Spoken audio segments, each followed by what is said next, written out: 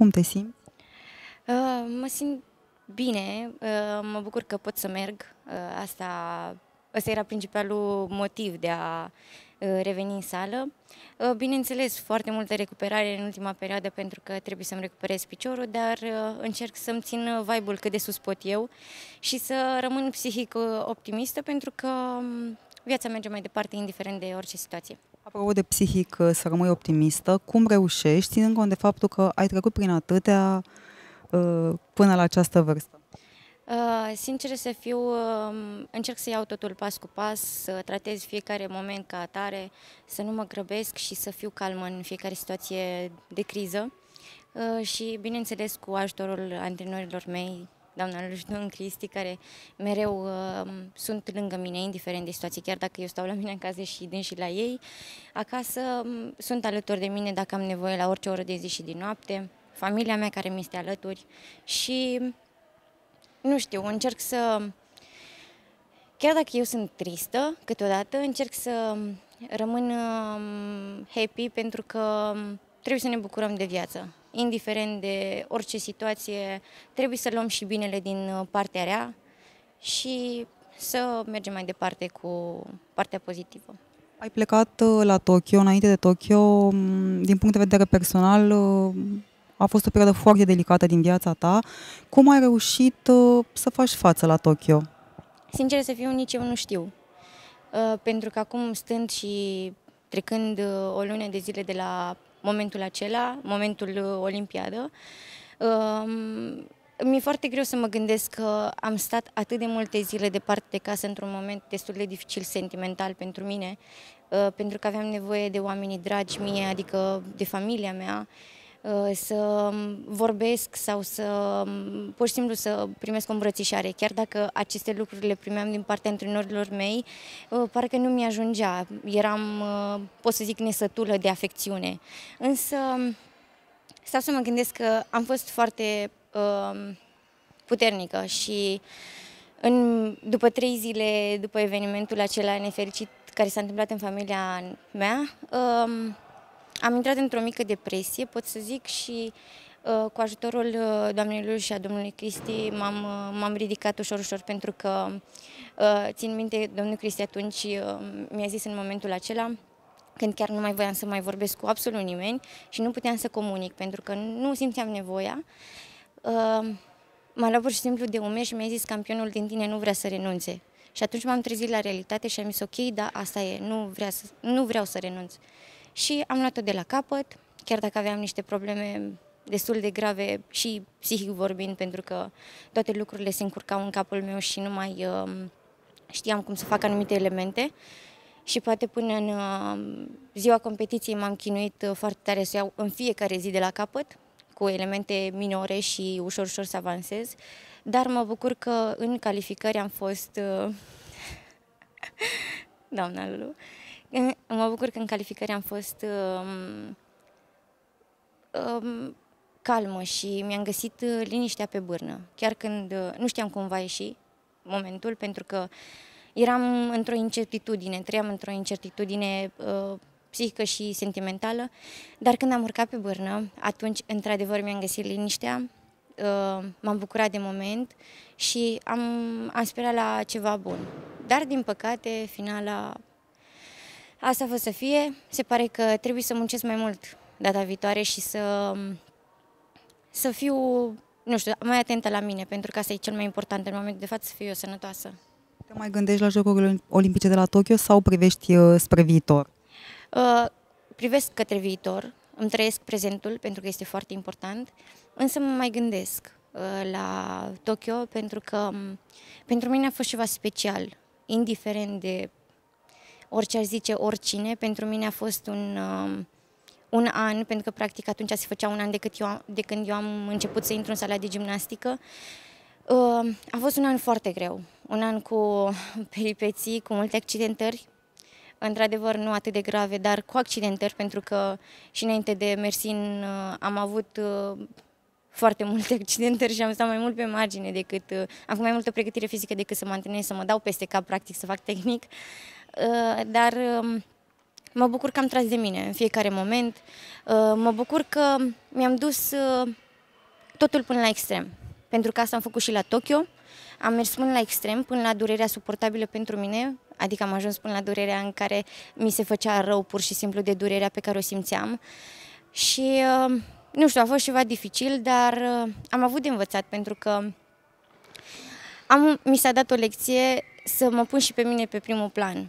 Până acum am lăsat inconștiența și um, acel vibe de eu pot să fac, să trec peste orice obstacol. Dar în momentul acela am, am zis că nu este cazul să mă lovesc mai tare decât sunt, um, pentru că am o viață înainte, indiferent orice rezultat ar fi.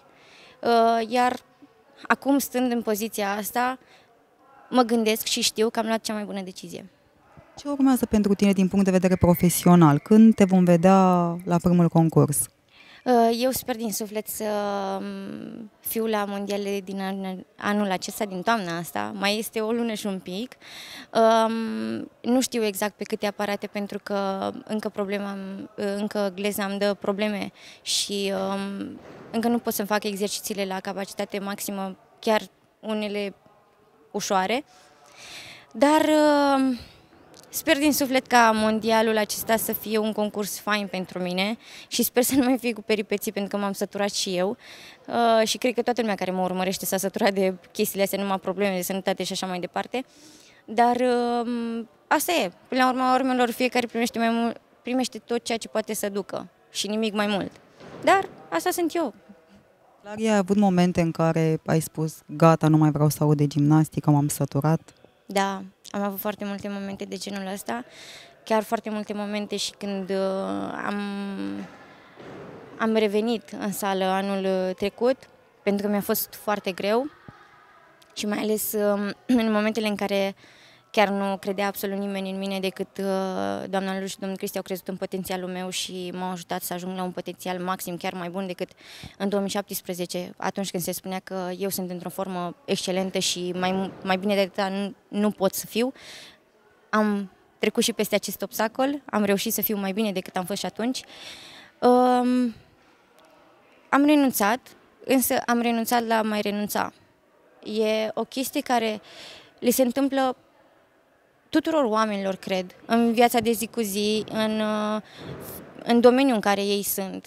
Dar uh, cred că cel mai bine este să nu luăm decizii la cald, ci să pur și simplu să gândim tot ceea ce trebuie să facem și ce întâlnim în parcursul nostru în viață, pentru că avem de învățat din orice obstacol și orice problemă.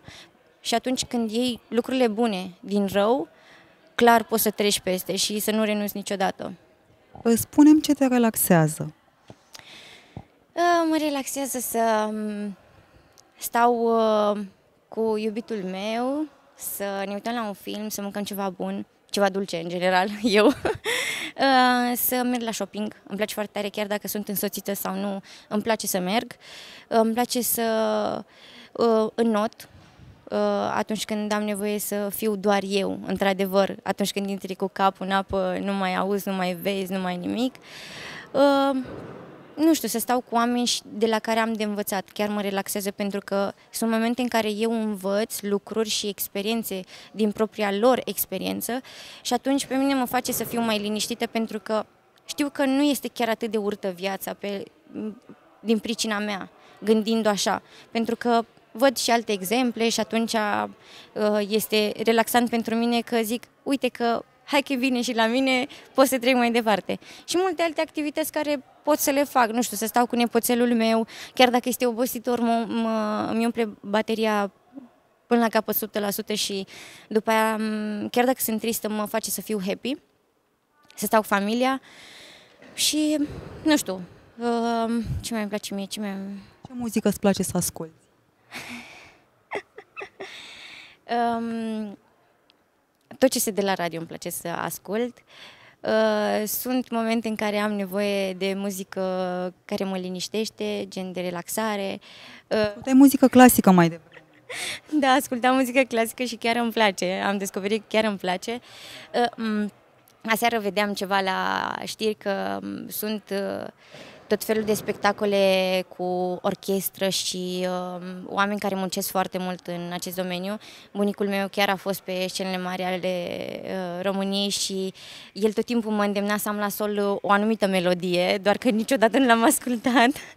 uh, dar timpul nu este pierdut, însă um, am descoperit că îmi place acel, uh, acea linie melodică și uh, chiar o să încep să ascult mai mult, pentru că mă liniștește. Mi-a dat un vai foarte bun atunci, astăzi, când am venit la sală. Și e chiar fain. Filme preferate? Uh, cele de dragoste, în general, că Na, sunt o persoană mai uh, sensibilă și așa, chiar dacă uh, prietenul meu zice numai la astea de dragoste ne uităm în ultima perioadă, chiar am văzut, cred că, câteva filme numai despre căsătorii și nu... Mie alea îmi plac, alea mă atrag, nu neapărat că îmi doresc eu chestia asta în viața mea, ci pur și simplu alea mă fac pe mine să continui să mă uit la filmul respectiv. Ai vreo superstiție? Uh, singura superstiție pe care o am și nu mai respect în ultima perioadă este să intru cu piciorul drept în uh, orice încăpere. Dar uh, acum, sincer să fiu, nici nu mai contează cu ce picior intru atâta timp cât eu fac tot ce pot eu mai bine în ziua respectivă sau în momentele respective încât să fiu cea mai bună. Ești credincioasă? Da, sunt foarte credincioasă și uh, cred că cineva acolo sus este lângă noi, indiferent de situație și uh, este alături de noi nu atunci când vrem noi, ci când avem nevoie. Uh, spune puțin mai devreme că îți plac foarte mult dulciurile, ești în, într-o formă extraordinară. Au fost momente în care ai avut probleme cu greutatea. Cum ai reușit să te echilibrezi? Îmi plac foarte mult dulciurile, îmi place. E foarte bună mâncare. Acum, de ce să o dăm cătită? E foarte bună mâncarea și dacă mănânci ceea ce îți place, clar, devii un pic mai pufos. Așa, da, am fost și eu uh, pufoasă. Am avut cam, uh, nu mi-e rușine să zic, am avut vreo 52 de kilograme. Eram ceva rotund, o lună plină. Dar am trecut peste cu... Um, sincer să fiu, am fost impulsion, impulsionată. Uh, atunci chiar dacă nu mă cântărea nimeni, uh, la un moment dat uh, mi-a spus doamna Lulu, ok, de azi înainte o să ne cântărim la sală și să vedem ce, cum rezolvăm chestia asta, ok. Și de rușine, să nu văd atât de multe kilograme și să nu vadă nici doamna Lulu și nici domnul Cristi atât de multe kilograme, am început ușor, ușor să dau jos. Însă mi-a fost foarte greu pentru că eram într-o într-o stare de dezvoltare și nu puteam să mă abțin de la mâncare, dar um, am mers la un nutriționist uh, pe uh, baza unor analize și o, uh, un meniu strict personalizat. Atunci am l-am respectat și chiar trei luni sau patru luni de zile l-am respectat cu strictețe. Nu făceam foame deloc, absolut deloc, însă acele alimente care erau strict pentru mine m-au ajutat să dau jos ușor, ușor și efortul pe care îl fac, bineînțeles, pentru că trebuie să îmbini sportul cu uh, meniul respectiv. Uh, am reușit să ajung la undeva la 48 de kilograme în 4 luni de zile. Acum ești mult mai slabă. Uh, da, acum sunt ceva mai slabă. La Olimpiada am avut vreo 44 de kilograme. Eu chiar mă speriasem la un moment dat pentru că mâncam, dar pur și simplu nu puteam, probabil din cauza stresului, nu puteam să, să păstrez ceva uh, în stomacul meu. Aveam și durere de stomac și în fine tot felul de chestii. Dar uh, acum că m-am mai liniștit puțin, uh, am mai pus un pic pe mine. Uh, e ok, dar uh, îmi place să fiu în formă atât pentru sănătatea mea cât și pentru a mă uita în oglindă și atunci când mă uit în oglindă să-mi placă ceea ce văd, pentru că trăind într-un stil, nu poți să te dezobișnuiești la, nu știu, o vârstă mai înaintată, pentru că așa am trăit eu. Trebuie să arăt foarte bine tot timpul, trebuie să am grijă de mine, trebuie să fiu în optima în care cred eu și în care mă simt eu bine. Și foarte bine pentru articulațiile mele. Trăim într-o lume în care aproape toți oamenii au nevoie de un uh, psihoterapeut care să-i ajute. Tu ai avut nevoie? Da, am avut nevoie și fac în continuare uh, terapie uh, pentru că um, trebuie să te descoperi pe tine în primul rând, trebuie să te simți bine în pielea ta. Uh, cred că cel mai important, vreau să încep cu simplu fapt că atunci când ai nevoie de un psihoterapeut sau un psiholog sau orice, orice om care poate să te asculte și să-ți dea niște idei principale ca tu să te dezvolți pe partea asta, nu înseamnă că ești nebun. Nu înseamnă că ai o problemă psihică sau nu înseamnă că pur și simplu ești, ești undeva deoparte și tu ai o problemă. Nu, sub nicio formă. Asta, e, asta am crezut și eu la început. Și am zis, n-am crezut absolut deloc în psihologi. Am zis că nu mă poate ajuta și singurul om care mă poate ajuta sunt eu însă. Însă, nu e chiar așa. Pentru că noi avem de învățat din toată, uh, din toate experiențele și din, din fiecare persoană pe care o întâlnim. Însă, făcând terapie, am învățat să mă accept pe mine, am învățat să-mi accept sentimentele, am învățat să mă accept pe mine chiar și când nu sunt bine pentru că nu suportam acel lucru și intram într-o pasă foarte proastă a mea și mă duceam undeva foarte jos și nu mai puteam să mă mai ridic.